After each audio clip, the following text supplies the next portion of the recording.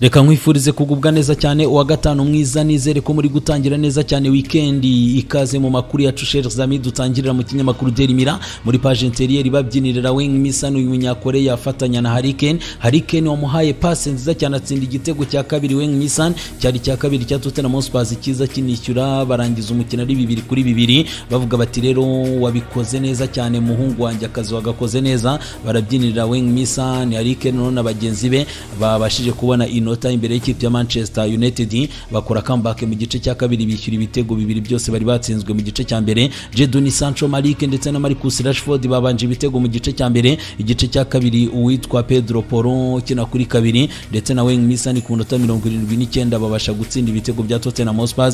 Byibuze birinda kugayika nk'uko bagayitse bakina n'ikipe ya Newcastle.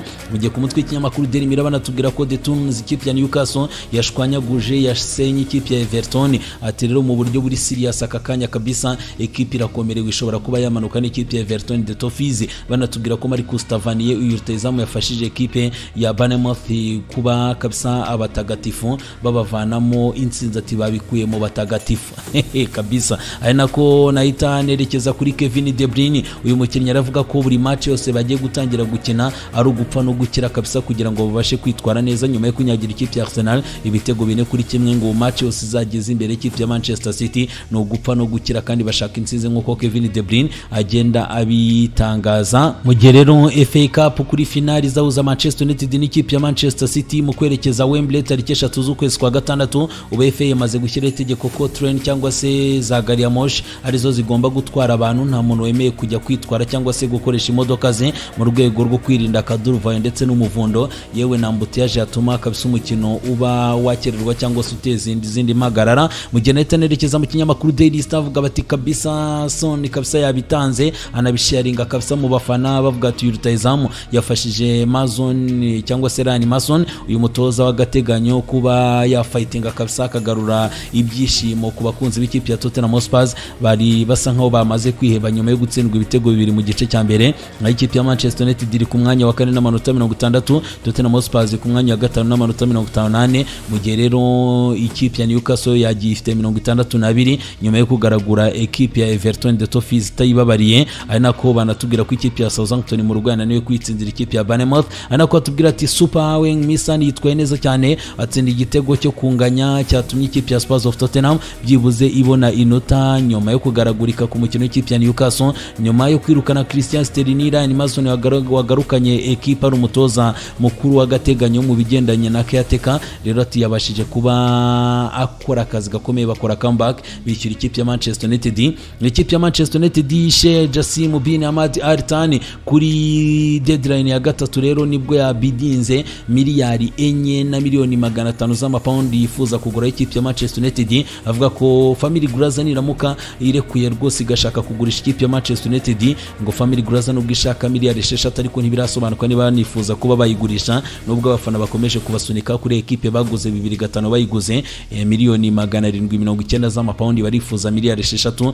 Rero Sir Jim Ratcliffe nawe ni umwe mu bakurikiranira hafi aho ariko baravuga ko Sir Jim Ratcliffe we ashobora kuba yabidinga kuri miliyari enye zonyine z'amapaundi ariko uyu munyakatari kabisa we yaronshinze e, miliyari enye na miliyoni magana atanu z'amapaundi kugira ngo yifuze kuba yayigura. Bigaragara ko confidence cyangwa se icyizere gihabwa kinifitiwe n'uwo bita Sheikh Jassim bin Ahmad Al Thani mu kuba ari we wazagura ikipe ya Manchester United baramutse bashatse kuyigurisha. Yitwa Kevin De Bruyne twabwiraga ko ngo ubu match yose ari do or cyangwa se urugupfa no gukira kugira ngo babashe gutwara ibikombe barimo. Ariko Kevin De Bruyne yongeye kuvuga ko we icyo atareba aka kanya nta nubwo yitaye ku bigendanye na treble ni byo bayikora akagego gafitwe n'abakeye b'abaturanyi Manchester United za bibiri n'icyenda aravuga ati twebwe ni byo ntabwo nitaye ku giti cyanjye ku bigendanye na treble ati icyo ndeba ni ugutsinda umukino ku wundi icyo twifuza no kwitwara neza muri buri bikombe. Bafite demi finale umukino ubanza ejo bundi uzahuza ikipe ya Manchester City n'ikipe ya Real Madrid bafite finale ya FA Cup na Manchester United. Nyuma yo gutsinda ikipe ya Arsenal bafite imikino y'ibirane bishobora gutuma batwara igikombe cya shampiyona ataka kanya icyo tureba ni ukureba uburyo twakwitwara neza ati no gukora treble si cyo cyonyine turi kureba cyangwa se icyo twitayeho ati turamuka twitwaye neza muri buri match dushobora kuba twakora iyo treble ni amagambo ya Kevin De Bruyne. Ikinyamakuru Daily Express muri page interieur bati ibihe byiza byagaruka baravuga ko umutoza Ryan Mason nyuma yo kwirukana Sterling ndetse na Conte gute ngo spirit Tottenham yagaragaje kuri match y'ikipe ya Manchester United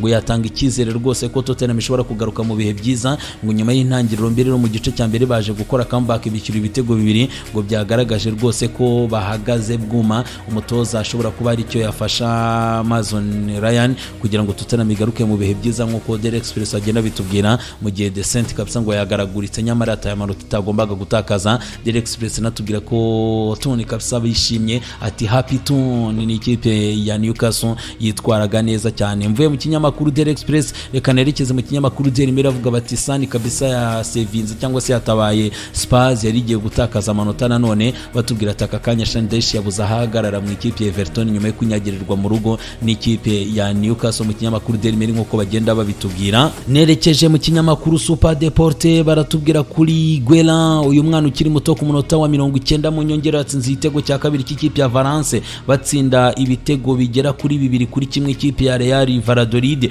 Babasha kwitwara neza cyane. Hatuye umukinnyi ukiri muto yatanze intsinzi ku ikipe ya Valencia yivana muri zone ya relegation. Nerekeje mu kinyamakuru Sport mu gihugu cya Espagne maguru yacyo baratubwira ko Barcelona yatangiye ibiganiro na La Liga kugira ngo barebe uburyo Lionel Messi yagarurwa kandi ndetse n'abadafashwe n'ikibazo cya financial fair play banakomoza ko amateka akomeje kwandikwa muri page intérieure. Batubwira ko ikipe ya Barcelona y'abagore yasezereye Chelsea muri kimwe cya kabiri cya Champions League. Barca yageze ku mukino wa nyuma abafana ibihumbi mirongo irindwi na bibiri na magana abiri mirongo itandatu na babiri nibo bari kuri Spotify Camp Nou ikipe ya Barcelona inganya na Chelsea. Ariko Chelsea yatsindiwe mu rugo byatumye imibare bakoze mibi cyane mu rugo isezerera ikipe ya Chelsea y'abagore. Nkana ko mu kinyamakuru Sport nanone banatubwira ko ekipe ya Villarreal yabashije kubyitwaramo neza cyane itsinda ikipe ya Espanyol Barcelone. Nerekeje mu kinyamakuru Mundo Deportivo na cyo kiratubwira yuko rwose hitabajwe penalty Ocampos yafashije ekipe ya Sevilla gutsinda Atletico Bilbao mu rugo.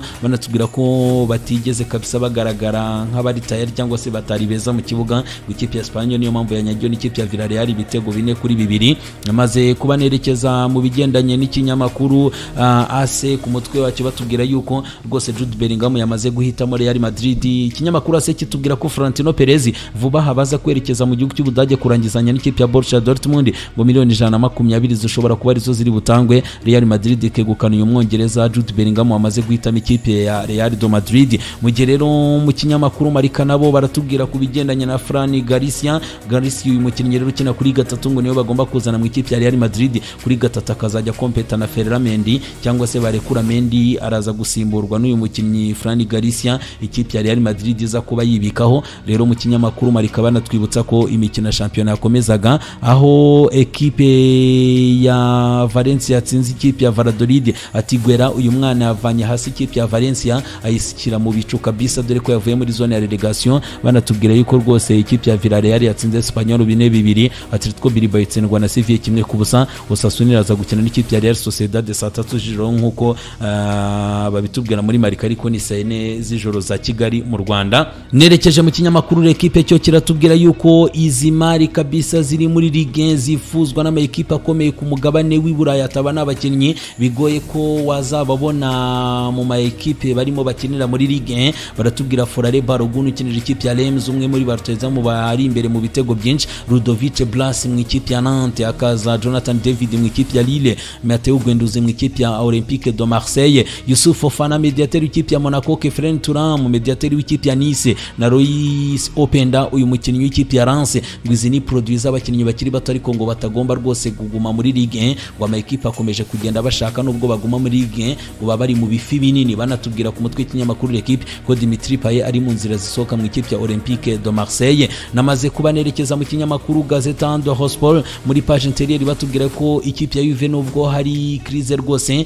muri resultat nyuma yo gutsindwa na Napoli ndetse bagasezererwa muri Coppa Italia n'ikipe ya Inter Domira Juve ifite gahunda yo kugumana Maximiliano Allegri ngo ntabwo azagenda. Rwose bamaze gufata umwanzuro nubwo abafana batishimiye uburyo ekipe yakinnye. Imbere y'ikipe ya Inter Domira abafana bifuzaga ko agenda ngo ariko ekipe imuhagazeho rwose igomba kuba imugumana. Nako ku mutwe w'ikinyamakuru Gazeta dello Sport batubwira ko ikipe kabisa ya Fiorentina yageze finali ya Coppa Italia bazahura n'ikipe ya Inter Domira nyuma yo kunganya na Cremonese ubusa ku busa. Ari nako kurandira mu kinyamakuru Gazeta dello Sport atubwira ko Scudetto rwose kuri Maradona Stadium iraza kuba yahagejejwe n'igikombe gishobora kwita gitangwa na Napoli n'itsinda ikipe ya Salernitana. Match banayivanye saa sita n'igice nk'uko twabibabwiraga ku munsi w'ejo. Umwanzuro barawufashe izaba saa cyenda z'amanywa ku cyumweru. Rero izakina Napoli nyuma y'ikipe ya Lazio izaba yakinnye mbere ndetse ifite umukino ukomeye cyane utazayorohera ikipe ya Lazio izaba ikina n'ikipe ya Inter de Milan. Baravuga bati rero ikipe ya Napoli izakina umukino saa cyenda ihita inahabwa igikombe cya shampiyona niramuka yitwaye neza cyane.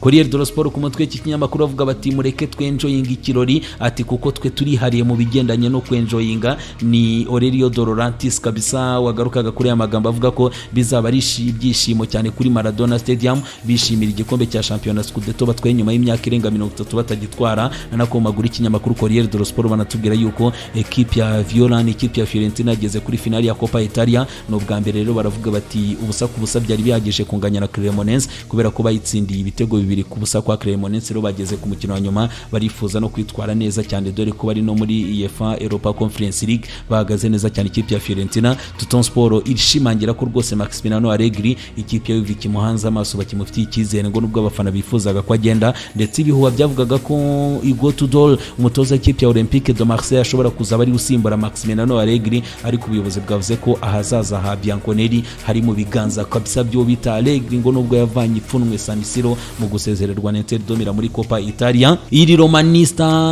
bata umurongo n'uyu nguyu ngo mu rwego rwo gufasha ikipe ya Roma ni ikinyamakuru cy'Iroma kiravuga uburyo imbaraga zigomba kabisa guhera mu izamu mu buryo bwo kubaka igitego bati bihere kwa Rui Patricio mu izamu. Não. Bikate kwa Ibanez Roger na Marash Kumbura Zeki Serik ngo bigende bigere kwa Tammy Abraham bakora ibitego kabisa byafasha ikipe ya Roma kuba yakwitwara neza mu marushanwa yaba shampiyona barashaka kuza mu myanya ine ya mbere ndetse na Europa League bagakomeza no ku mukino wa nyuma. Ati rero confidence abafana barazifite ndetse bafite icyizere muri nyo rwose ngo muramukore byose mushimisha abafana babari inyuma. Nkuko iri Romanist igenda ibigarukaho amaze kwerekeza tayari mu kinyamakuru wa Bora n'uyu mugabo yakiniye ikipe ya Benfica yitwa Drulovic uyu mugabo rero tayari yamaze gutangaza ko Benfica rwose ari imwe mu ekipe ameze neza cyane. Ati Rafa Silva n'umwe mu bakinnyi wafashije ekipe ya Benfica cyane. Uyu mu legendary niko abibona ndetse ngo n'umwe mu bakinnyi bakanahawe igihembo cy'umukinnyi mwiza witwaye neza cyane muri iyi saison mu gihe muri Portugal bari kurwana intambara yo kumenya uzaba umukinnyi mwiza wa saison rero bavuga bati uyu Rafa Silva arahabwa amahirwe nk'uko Drulovic wakiniye ikipe ya Benfica hagati y'umwaka wa bibiri na rimwe kugeza bibiri gatatu agenda bitangaza. Ku ruhande rw'ikinyamakuru abora banatubwira yuko Nino Santos uyu mukinnyi w'ikipe ya Sporting ngo naramuka avuye muri ekipe ikipe imushaka izatanga miliyoni makumyabiri z'amayero kugira ngo utware Nino Santos uyu mu left back. Banatubwira ko ku ruhande rwa FC Porto maricano ngo priorite ku ikipe ya Porto ni ukumwongerera amasezerano na sezi itaha hakazaba hari byibuze bibiri na makumyabiri na gatatu bibiri na makumyabiri na kane. Uyu rero uyu mudefansi umuhanga cyane maricano ikipe ya Porto irifuza kuba imugumana nk'uko iki kinyamakuru abora bagenda babitubwira. Muri page interieur y'ikinyamakuru ariko ni ho nageze ngo target kabisa ngo ibipimo ni ibingibi ibipimo rero byerekeje kuri aba bakinnyi ikipe ya Sporting irashaka abakinnyi bakina kuri kabiri. Amaso bayahanze kuri Tariq Lamptey w'imyaka makumyabiri n'ibiri kumuvana mu ikipe ya Brighton undi ni Van Eugik uyu mukinnyi w'ikipe ya Herenveen ni umuhorandi nawe w'imyaka makumyabiri n'ibiri. Aba baratero rero droite baraza kuvamo umwe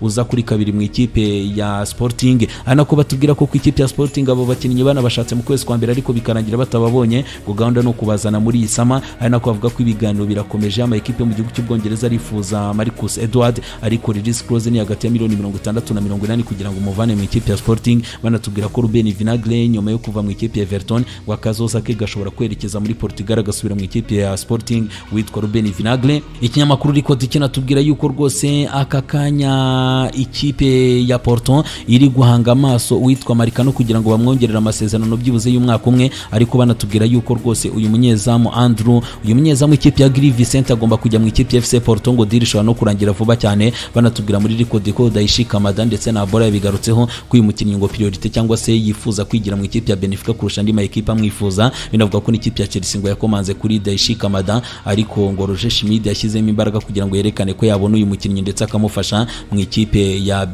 Benfica n'uyu muyapani Daishi Kamada ari nako nahita nerekeza muri page interieur y'ikinyamakuru Ojogo Ojogo itubwira ko ubu bareba byinshi cyane ngo ni ibikombe kabisa ikipe ya Porto iri kubihanga amaso bafite icyizere cya shampiyona ndetse no gutwara igikombe cy'igihugu. Ari nako umutoza Sergio Conceição avuga ati ubu ibigendanye n'umutima w'urukundo bafitiye ekipe yabo ya Porto ngo ni byo biri gutuma bafightinga kugira ngo barebe ko ibi bikombe babitwara. Ari nako batubwira ko Marcano rwose nyuma yo kwitwara neza cyane ngo arifuza kwigumira mu ikipe ya Porto. Ari nako Alex Telles ngo nawe biramutse byanze mu ikipe ya Sevilla Manchester United ikamugurisha ngo yasubira mu ikipe ya Porto n'ubundi yavuyemo nk'uko ikinyamakuru Ojogo kigenda kibigarukaho. Mu tundi dukuru Kierantini uyu mukinnyi w'ikipe ya Arsenal ikinyamakuru Football Insider baratubwira yuko nyuma y'ikipe ya Newcastle yinjiye muri deal yo kureba ko yasinyisha uyu mukinnyi. Ushobora kuba ahagaze miliyoni mirongo itatu z'amapawundi ikipe ya Manchester City ya Pep Guardiola yanamushatse mu minsi yashize yongeye kugaruka muri deal yo gushaka Kierantini kugira ngo barebe ko bamuvana mu ikipe ya Arsenal. Manchester City ikeneye umukinnyi wo kuri gatatu rero ngo barashaka no kureba ko babona Kierantini yitwa Aymeric Laporte tukiri ku ikipe ya Manchester City. Uyu mukinnyi afite inzozi zo kujoininga ikipe ya Barcelona twagiye tubigaruka hari kama ikipe yandi yinjiye muri deal ikipe ya Newcastle nishaka kurekura Aymeric Laporte ko yava mu gihugu cy'Ubwongereza. Aravuga ati twagerageza tukamugumisha mu gihugu cy'Ubwongereza tukamuvana muri Manchester City tukamujyana muri Newcastle. Gusa n'ikipe ya Juventus de Turin iratekereza kuzana Aymeric Laporte ndetse n'ikipe ya AS Milan irabitekereza. Gusa Mundo Deportivo ikatubwira ko Barcelona kuri Juan Laporta yifuza kuzana uyu mukinnyi. Muri gahunda za Barcelona mu gihe bagabanya imishahara y'abakozi b'ikipe ya Barcelona nawe mu gihe yakwemera kugabanya umushahara akorohereza Barcelona ishobora kuba yamutwara. Ryan Gravenberch umukinnyi w'ikipe ya Bayern ikipe ya Liverpool de Cops yatangiye ibiganiro n'abahagarariye Ryan Gravenberch ku buryo ikipe ya Liverpool ishobora kuba yamusinyisha nyuma yo kugurwa miliyoni 18 n'igice z'amayero akerekeza Allianz Arena avuye muri Ajax Amsterdam. Rero ikipe tayari ya Liverpool iravuga ati ntabwo arigera abanzamo kuva mu kwezi kwa 11 namba ntarigera abanzamo mu ikipe ya Bayern ngo agomba kuba ayivamo. Yitwa Rivaro Morata ikipe ya AS Milan yamugarutseho nk'uko ikinyamakuru Gazeta dello Sport bagenda bitubwira barashaka kumusimbuza Zlatan Ibrahimovic Brakadabra uyu mukinnyi w'imyaka 30 y'ibitego 11 mu ikipe ya Atletico Madrid mu mikino 31 ya La Liga iyi saison Alvaro Morata arashakwa na Rossoneri ikipe ya Mirase kugira ngo ibe yamutwara asimbura uyu muvetera w'imvune nyinshi cyane Zlatan Ibrahimovic Brakadabra. William Bogre da Silva uyu mukinnyi w'ikipe ya Fulham tayari ikinyamakuru wo mu gihugu cya Brazil. Kiratubwira yuko tayari agiye kongera amasezerano y'imyaka ibiri mu ikipe ya Fulham uyu munya Brazil umaze gutsinda ibitego bitandatu mu mikino makumyabiri n'ibiri ku ngoma ya Marco Silva mu ikipe ya Fulham muri Premier League rero barashaka kumugumana yitwa Reece Nelson. Uyu mukinnyi w'ikipe ya Arsenal ku myaka ya makumyabiri n'itatu Karico Mercato iratubwira ko abamuhagarariye batangiye ibiganiro n'ikipe ya AS Milan ku buryo uyu mukinnyi yajya gukina mu gihugu cy'Ubutaliyani mu ikipe ya AS Milan. Lois Openda uyu mukinnyi ukomoka i Kinshasa yakina ikipe y'igihugu y'Ababiligi Diable Rouge. Ibitego 17 muri Ligue 1 iyi saison umwe mu bamaze gutsinda ibitego byinshi.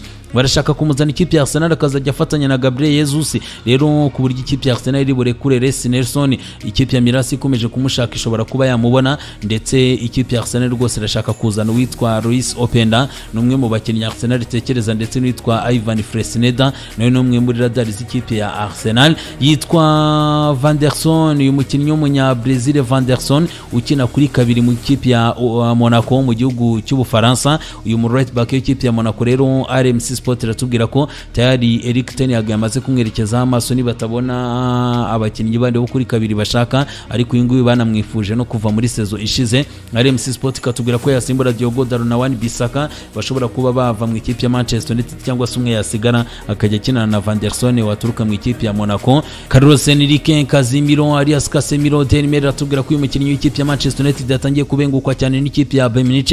Ikipe ya Bayern Munich Bavarians kabisa barashaka kureba ko batwara Kazemiro bakamuvana muri Manchester United Thomas Tuchel arashaka Kazemiro cyane. Paulo Dybala uyu mukinnyi w'umunya Argentine uyu mukinnyi wifuzwa n'ikipe ya Manchester United za Newcastle nazo zari ziri yongo zirashaka kumutwara. Regis Cross ye ni miliyoni makumyabiri ku ma yo mu gihugu cy'Ubutaliyani kuko na Inter Domina na za Juve zagiye zimutekereza gusa miliyoni cumi n'ebyiri ku ma atari yo mu Butaliyani wamutwara. Ikipe ya Roma yamaze kuba inashaka uburyo yakansaringa option bari bamupropoje yo kuba bamwongerera umushahara akava kuri miliyoni eshatu n'ibihumbi magana inani akajya kuri miliyoni esheshatu z'amayero rero ashobora kuba yava mu ikipe ya Roma Paulo Dybala. Yitwa Ivan Toney rutahizamu ikipe ya Brentford ikipe ya Manchester United ikipe ya Aston Villa ngo na ekipe ari kurwanira Ivan Toney ibitego 19 kabisa muri Premier League iyi saison ni umwe mu bakinnyi bamaze gutsinda ibitego byinshi. Rero Eric Ten Hag arashaka rutahizamu waba namenyereye icyitwa Premier League rero baravuga bati turacyamuriho. Yitwa Mateo Kovacic nawe ngo nyuma yo kumva ko Thomas Tuchel amwifuza mu ikipe ya Bayern Munich Mateo Kovacic ngo arifuza kuva mu ikipe ya Chelsea iyi saison irangira. Uh, Sport One mu gihugu cy'Ubudage bakatubwira ko rwose umunyakorosa w'imyaka cumi n'umunani rwose wagiye afasha ikipe ya chelsea cyane muri iyi saison. Rero baravuga bati imikino cumi n'itanu muri mirongo itatu n'itatu ya chelsea iyi saison yayibanjemo. Rero baravuga bati ikipe ya bayern munich nyuma yo kumushaka nawe arifuza ngo kuba yayigiramo. Yitwa jean felix uyu mukinnyi mauricio pochettino arifuza kuba amugumana mu ikipe ya chelsea. Ntazasubire mu ikipe ya atletico do madrid. Jean felix ngo akazajya afatanya na romero lukaku bakaba bajya bakoresha abataka babiri. Rero dore ko ikinyamakuru the sun cyatuzaniye iyi nkuru kinatubwira ko jean felix ndetse na romero lukaku hari uburyo bashobora kuzajya babakinisha. Hari ekipe ya mbere y'abipanze itya ifite mu izamu kepa rizabalaga cyangwa se edward mendi tiago silva na fofana james ndetse na shiriweri momandi kante kovacic na enzo fernandez mu gihe lukaku yakwataka agaragiwe na jean felix ndetse na kai havat lucas rero ngo ni imwe muri option z'uburyo ikipe ya chelsea ishobora kuzajya ikina. Mu gihe pochettino ngo ifite na gahunda yo guha amahirwe mikaelo mudrik ndetse na levi kowiri yewe ntibagiwe na cukunonso tristan noni madueke ngo ni abakinnyi nabo bazajya bakoreshwa. Iyo rero yo gukoresha mikaelo mudrik ndetse imezite niyo kuvuga ngo bakoresha mikaelo mudrik uruhande rumwe urundi noni madueke jean felix agakina mu mugongo wa romero lukaku enzo fernandez na mateo kovacic cyangwa se na ngoro kante umwe muri abo akajya abanza hagati mu bamirere kiperateri babiri risi james na ben shiriwe levi kowiri nawe ni uyu mukinnyi ikipe ya chelsea yatije mu ikipe ya breton and hove albion levi kowiri nawe ngo aratekerezwa cyane ku buryo nawe yahabwa ayo mahirwe ndetse na wesley fofana nawe uyu mukinnyi rwose akajya akinana na levi kowiri kepa rizabaraga cyangwa se edward menda akaba ari mu izamu ni uburyo ngo pochettino ashobora kuzajya akinisha iyi ekipe. Pochettino ufite n'icyizere ko ashobora kubona rutayizamu Harry Kane akaba yamuzana mu ikipe ya Chelsea amuvanye muri Tottenham Hotspur dore ko banabanye mu ikipe ya Tottenham. Uyu kapiteni w'abongereza Kane ngo ikipe ya Tottenham rwose ishobora kumubura Pochettino akamujyana mu ikipe ya Chelsea London. Hariya kabisa nubwo amuhanganiye na Manchester United na yo imushaka kandi ifite icyizere cyo kuba yamubona. Rero ngo ikipe ya Chelsea ifite Harry Kane yajya ikina defense ya 3 noneho ifite Benoit Badiashile ndetse na Thiago Silva na Wesley Fofana. Mu gihe mu izamu aba arimo Kepa cyangwa se Edward Mendy ariko Kepa afite amahirwe yo kuzajya abanzamo no kuri izi formation. De Sane atubwira ko rwose ibizi ko Kepa Arrizabalaga ashobora kugumana umwanya we wa mbere nk'umunyezamu wa mbere Reece James ruhande rumwe Marc Cucurella urundi muri defense ya Torongo ashobora kuzajya akoresha Marc Cucurella mu gihe Mateo Kovacic na Enzo Fernandez hagati nka Mirere Kiperateri babiri imbere yabo Jean Felix Lukaku ndetse na Harry Kane.